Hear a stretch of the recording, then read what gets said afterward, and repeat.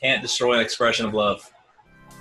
It's going to continue. It's going to go on, regardless of what form it takes. It will always go on. There's an enormous difference between saying you know something, having a knowledge of something, and having awakened, having awakened to the to the revelation.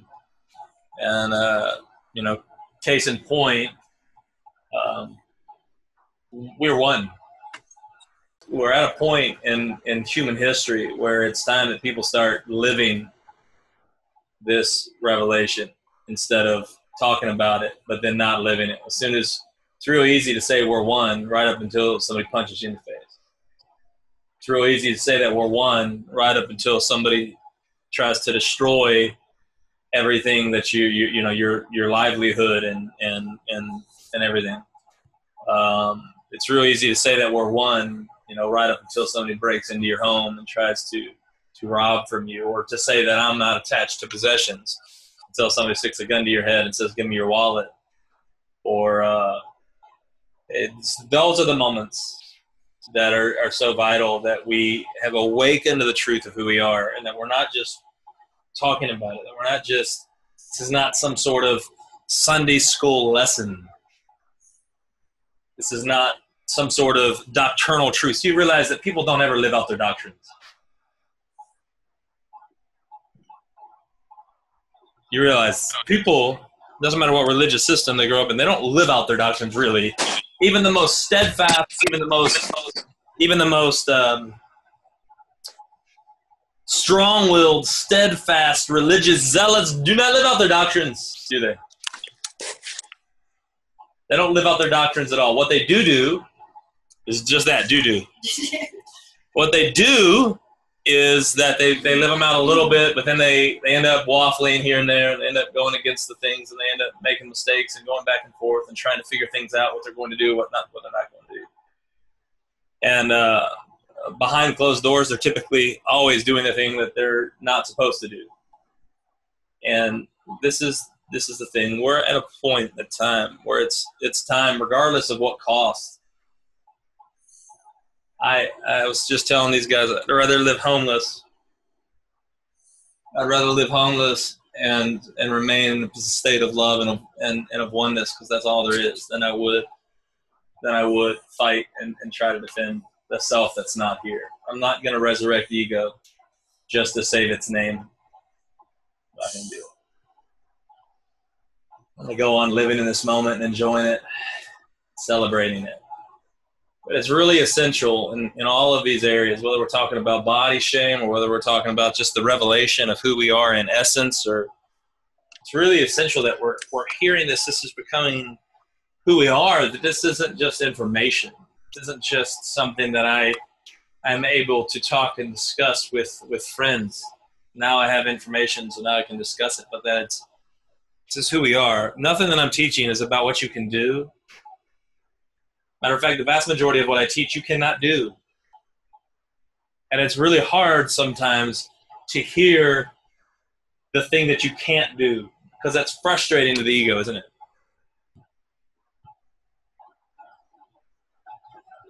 It's frustrating the ego to hear someone say, hey, say something that you actually cannot do. There's no part of you has the ability to do that thing. How many times have you heard me say, let it go? And Becca goes, I can't, I don't know how. What do I do? How do I do this? Yeah. Uh, you can't do it. That's the point of being able to say, let it go. It's not something you can actually do. Because who you truly are has nothing to let go of.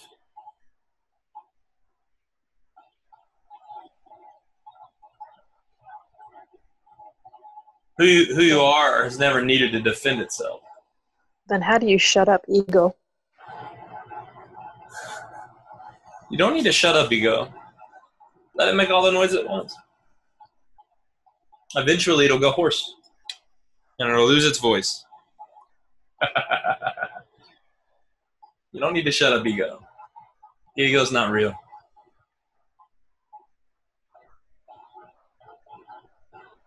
You're literally sitting you're sitting in a fire that's burning away all the things that are not you.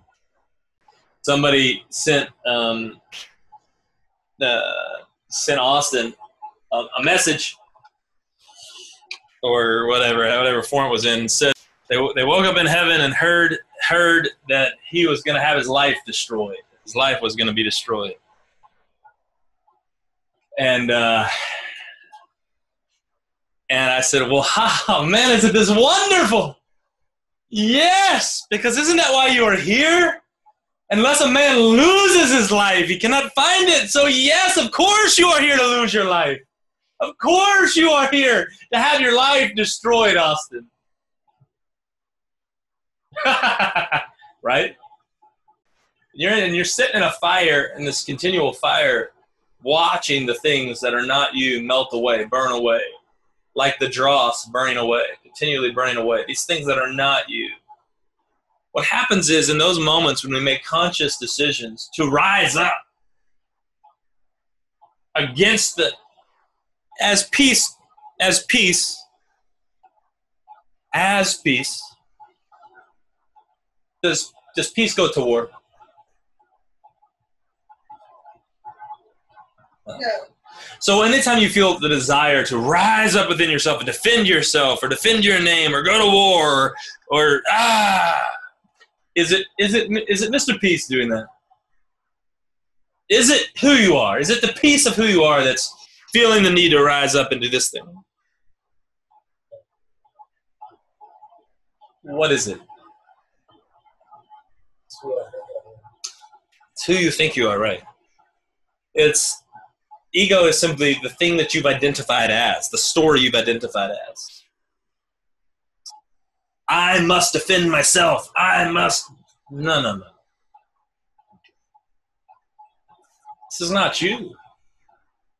It's not you at all. That you, the one that needs to defend itself, the one that needs to be right, is the one that must die. So we're at, we, we went for a hike the other day. So my Beth and the kids and Austin and Becca, and we, we went for a hike at a place called St. Mary's Falls. And they have like a 20 foot and like a 30 foot cliff jump into this little pool. It's not a very wide pool of water, what, eight, 10 feet across? Not even, if that. It's about 10 feet deep and, and it's not, not really wide. So it, would be hard to miss. It'd be hard to miss and, and hit the rocks, but possible.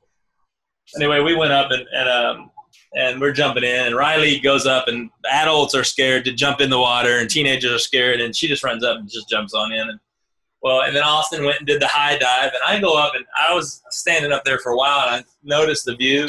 I started watching the view, and Beth gets her phone out. She wants to record me jumping off the thing, and I so I just sit there.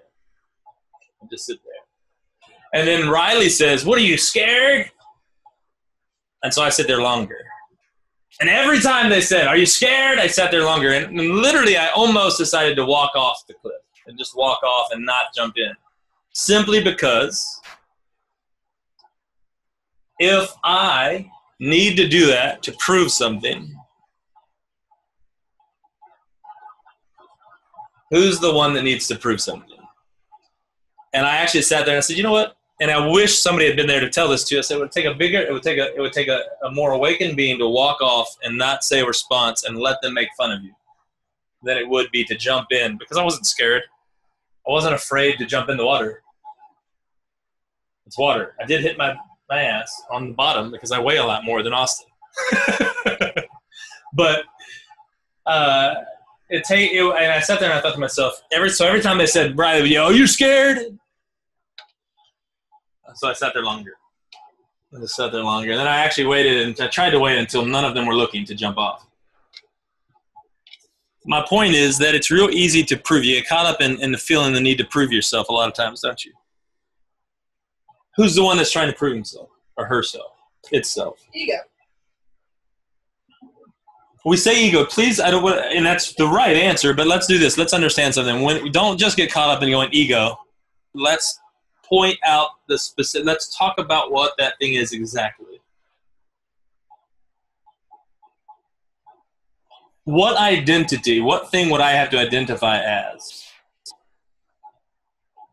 to need to prove myself in that area? What would be the identity that would cause me to feel the need that I needed to prove myself?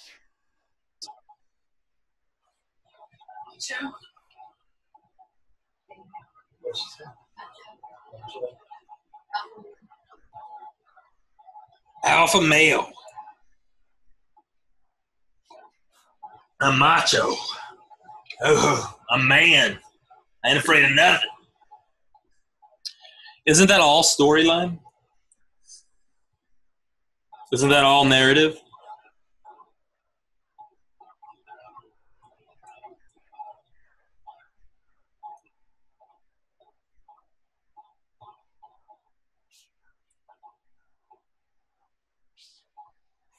I wanted to jump off the cliff. That's why I did it.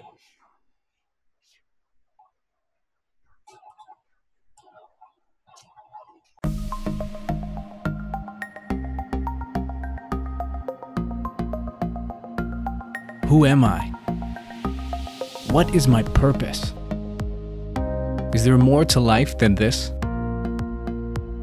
Ekstasis Institute is relaunching this fall, providing students with the opportunity to explore the depths of who they truly are. An in person or online institute where people of all backgrounds come to discover truth beyond any religion or philosophy. Awaken with us to your true divine purpose, being. See your vastness, that you are both nothing and everything, the Christ. Realize that you are life itself, one with God, one with all things. We offer three paths of study with Silas Valentine, a mystic teacher and mentor who, for the past 20 years, has been guiding students into their awakening. Choose from one of two general studies paths, or if you really desire to dive deep, participate in the mentorship path, where you will receive one on one guidance and mentoring from Silas, as well as weekly classes.